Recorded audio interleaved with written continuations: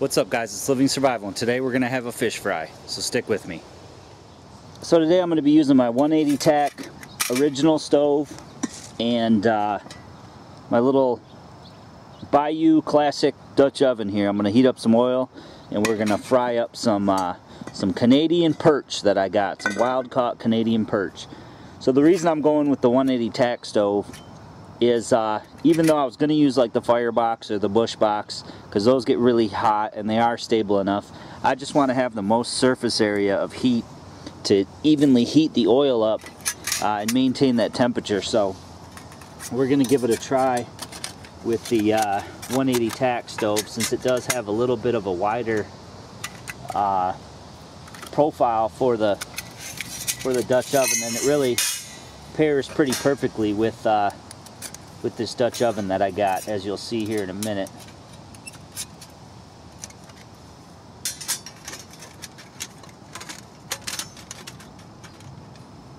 Set that right on there, then we'll just pop these trivets in.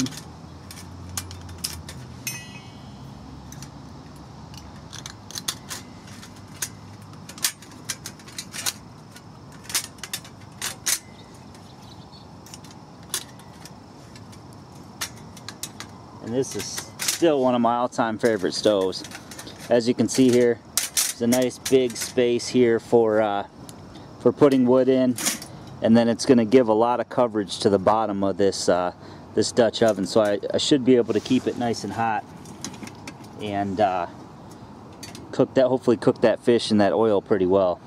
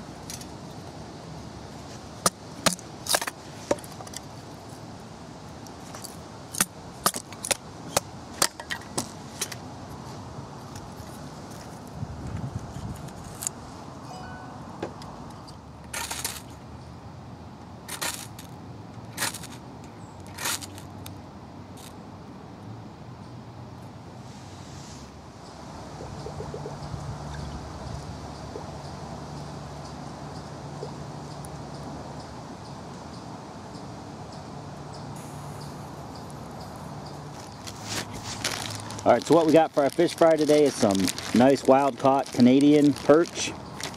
And uh, I'm gonna go bread that up. I'm just gonna basically put it in this bag and shake it up. And uh, we're gonna get this fire going nice and hot. And get some oil going in our pot here.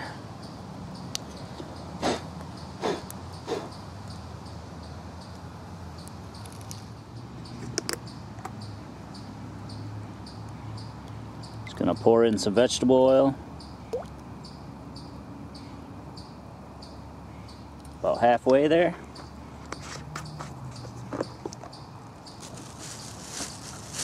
Let that get nice and hot. So I've definitely fried things like in a frying pan over a uh, bio stove fire, but I've never actually tried to heat oil to deep fry something, so should be pretty interesting to see if I'm able to get it hot enough to, uh, to do that. Alright, so I've had this fire going for about uh, maybe 8-10 minutes and uh, we're starting to get some some bubbling in there and things like that. So I'm just going to go ahead and throw a little bit of batter in there and we're going to see. Yeah, it should be ready. If it bubbles up like that, it should be nice and hot. So go ahead and throw one of these smaller fillets in here. And uh, looks like we're just getting up to temperature there.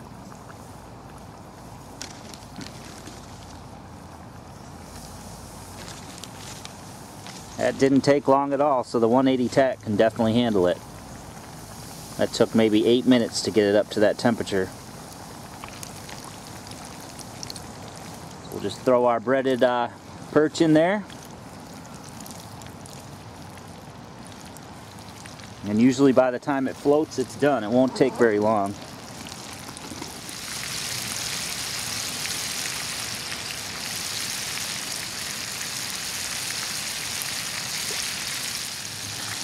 And I think these are probably about done. Yeah, look at those.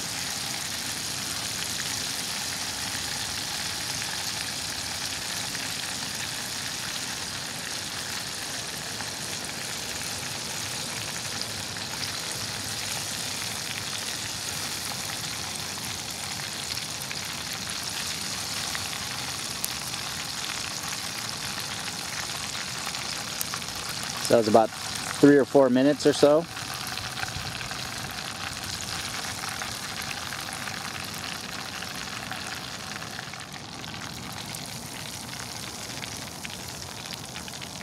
And throw a couple of these bigger ones in there. And you can see I got to get my temperature back up here.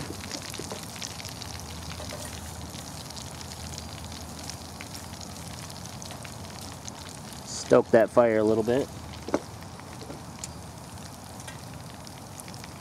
You can see that this 180 tack stove is absolutely perfect with this Dutch oven. So I really like to pair my stoves with the appropriate, you know, pot or a cup or pan or whatever. And uh, you can see that this pairs up perfectly.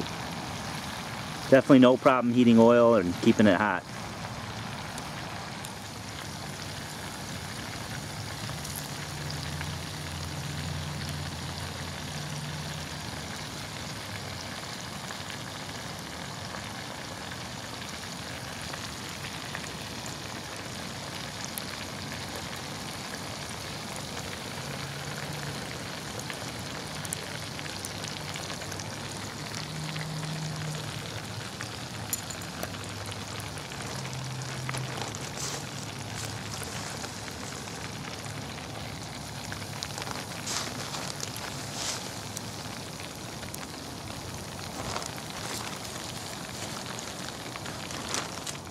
Alright guys, well I hope you enjoyed this quick video on frying up some perch fillets and uh, using the 180 tack stove with the uh, 2 quart cast iron.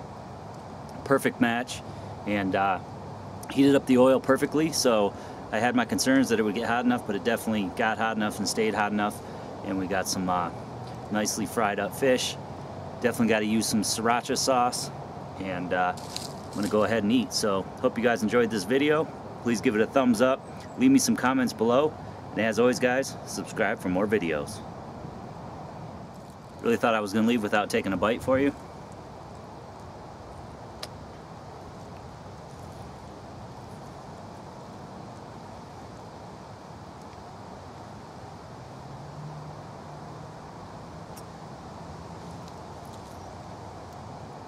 I didn't think I have to say anything.